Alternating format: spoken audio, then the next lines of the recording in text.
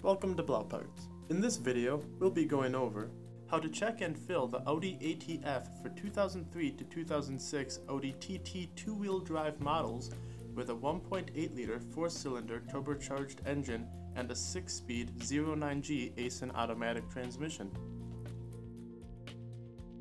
Start by placing the vehicle on an automotive lift or jack stands using factory lift points and procedures. Remove the lower engine splash pan. This pan is held in place by several T25 Torx bit screws. Start the engine cold and let it idle. As the engine's warming up, plug the Ross-Tech diagnostic software into the OBD2 port and begin to monitor the transmission fluid temperature. Using the Ross-Tech, first select Control Module, then O2 Auto Trans Control Module, then select Measuring Blocks 08, and finally select Group 006. Displaying Group 006 in Field 1 will allow for an accurate ATF temperature reading. Locate the transmission drain plug.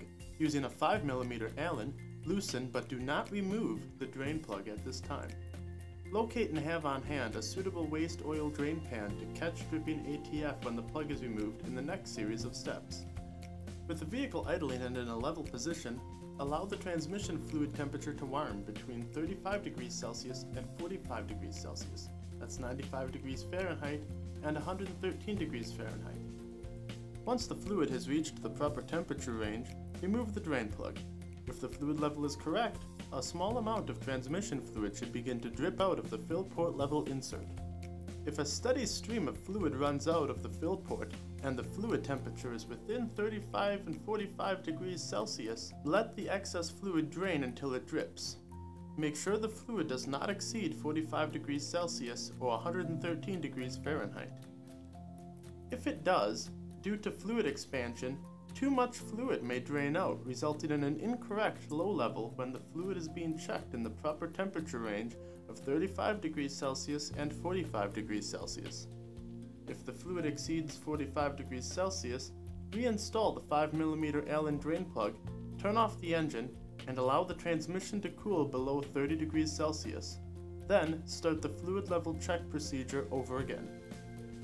If the transmission is between the proper temperature range, 35 degrees Celsius and 45 degrees Celsius, or 95 degrees Fahrenheit and 113 degrees Fahrenheit, and you have no fluid dripping from the fill port, you will need to add the approved ATF.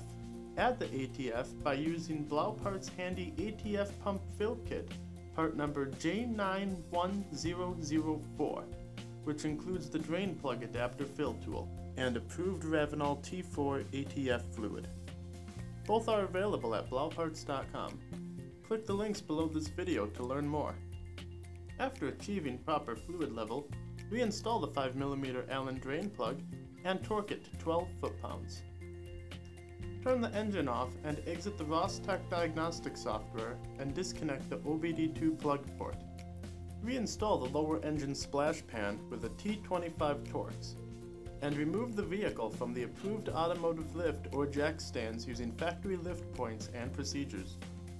As the nation's leading independent Audi and VW specialist for over 25 years, Blauparts recommends changing your Audi automatic transmission fluid every 30 to 60,000 miles to extend the service life of the transmission.